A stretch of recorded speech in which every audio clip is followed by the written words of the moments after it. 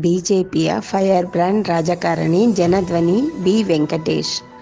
ಹಲವಾರು ವರ್ಷಗಳಿಂದ ಸದ್ದಿಲ್ಲದೆ ಹನೂರಿನಲ್ಲಿ ಟ್ರಸ್ಟ್ ಒಂದರ ಹೆಸರಿನಲ್ಲಿ ಸಾಮಾಜಿಕ ಸೇವಾ ಕಾರ್ಯಗಳನ್ನು ಮಾಡುವ ಮೂಲಕ ಜನರಲ್ಲಿ ಮೆಚ್ಚುಗೆಯನ್ನು ಪಡೆದಿದ್ದ ಜನಾಶ್ರಯ ಟ್ರಸ್ಟ್ನ ಸಂಸ್ಥಾಪಕ ಅಧ್ಯಕ್ಷರಾದ ಜನಧ್ವನಿ ಬಿ. ವೆಂಕಟೇಶ್ ಅವರು ಬಿಜೆಪಿ ಪಕ್ಷ ಸೇರಿದ್ದಾರೆ ಎಂದು ಪ್ರಶ್ನೆ ಮೂಡಿಬಂದಿದ್ದು ಕ್ಷೇತ್ರದಲ್ಲಿ ಭಾರೀ ಚರ್ಚೆ ನಡೆಯುತ್ತಿದೆ.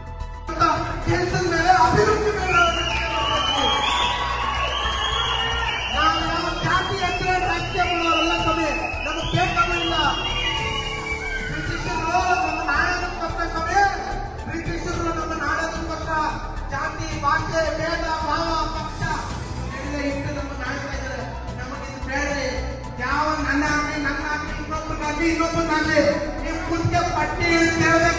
ಏ, ನನ್ನ ಆರ್ಥಿಕ ಸ್ಥಿತಿ ಯಾವ ರೀತಿ ನೀನು ಸುಧಾರ ಮಾಡ್ತ? ನಮಗೆ ಏನು ಮಾಡ್ತೇನೆ. ಯಾವತ್ತೂ ನಿಮ್ಮ ಆಗಿರ್ತೇನೆ ನಿಮ್ಮ ಜೊತೆಯಲ್ಲೇ ಇರ್ತೀನಿ, ನಿಮ್ಮ ಮನೆಯಲ್ಲಿ ಇರ್ತೀನಿ, ನಿಮ್ಮ ಹೃದಯದಲ್ಲಿ ಇರ್ತೀನಿ. ನೀವು ನನ್ನ ಹೃದಯದಲ್ಲಿ ಇರ್ತೀನಿ ಅಂತ ನಾನು ಭಾವಿಸಿದ್ದೀನಿ. ಸದಾ ನಾನು ನಿಮ್ಮ ಜೊತೆಯಲ್ಲಿತ್ತು ಇನ್ನ ಬಹಳ ಮಾತಾಡಬೇಕು ಅಂತ ಬಹಳ ಆಸೆ ಇದೆ. ನಾನು ಮುಂದೆ ಬರುವಂತ ದಿನಗಳಲ್ಲಿ ಹೇಳಿದ್ದೀನಿ, ಇನ್ನ ನೆಕ್ಸ್ಟ್ ಒಂದೊಂದು ಹಳ್ಳಿಗಳು ನಾನು ಗ್ರಾಮ ವಾಸ್ತವ್ಯ ಮಾಡ್ತೀನಿ ಸ್ವಾಮಿ. ನಮ್ಮ ಮನೆಗಳಲ್ಲೇ ಮಲಗ್ತೀನಿ ನೀವು ತಿನ್ನೋದು, ನಾವು ತಿನ್ನೋದು ಒಂದೇ ಮುಂದಿನ ದಿನಗಳು, ನನ್ನ ಜೀವನದ ಮುಂದಿನ ದಿನಗಳು ಮೀಸಲಾತಿ ಬರೆದು ಇಟ್ಬಿಟ್ಟಿದ್ದೀನಿ ಏನ್ ಸ್ವಾಮಿ? ನಿಮ್ಮ ಸೇವೆಗೆ ನನ್ನ ಮುಂದಿನ ದಿನಗಳು ಮೀಸಲಾತಿ ಬರೆದು ಇಟ್ಟಿದ್ದೀನಿ ಬರೋಂತ ದಿನಗಳಲ್ಲಿ ನಾವೆಲ್ಲ ಗ್ರಾಮ ವಾಸ್ತವ್ಯಕ್ಕೆ ಎಲ್ಲ ಏರ್ಪಾಡು ಮಾಡೋಣ. ಬಂದು ಕುತ್ಕೊಂಡು ಎಲ್ಲ ಹೊಸದಾಗೆ ಆಯ್ಕೆ ಆಗಿರ್ತಕ್ಕಂಥ ಎಲ್ಲ ಗ್ರಾಮ ಪಂಚಾಯತಿ ಸದಸ್ಯರು ಗೊತ್ತು, ನಾವ್ ಯಾವತ್ತು ಬರಬೇಕು, ಏನು ನಮ್ಮ ಗ್ರಾಮದಲ್ಲಿ ಇರ್ತಕ್ಕಂಥ ಸೇವೆಗಳು ಏನಾಗ್ಬೇಕು ಅಂತ ಹೇಳ್ರಿ. ಖಂಡಿತ ನಾನು ಇರ್ತೀನಿ. ನನ್ನ ಕೊನೆ ಉಸಿರಿರೋದು ಇರ್ತೀನಿ ಇರ್ತೀನಿ ಇರ್ತೀನಿ. ನಾನು ಎಲ್ಲೂ ಹೋಗೋದಿಲ್ಲ ಅಂತ ಹೇಳಿ ನಾನು ಈ ಸಣ್ಣ ಭಾಷಣವನ್ನು ಮುಗಿಸ್ತಾ ಇದ್ದೀನಿ. ಜೈ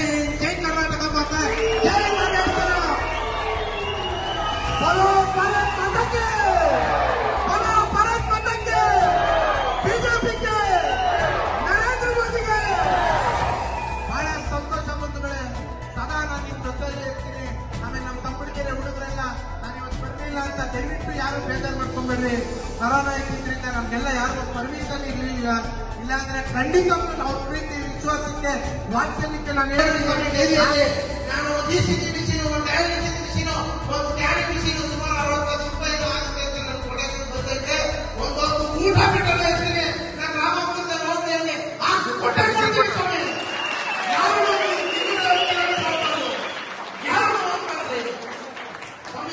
ಆಗುತ್ತೆ ಅಂತ ನಾನು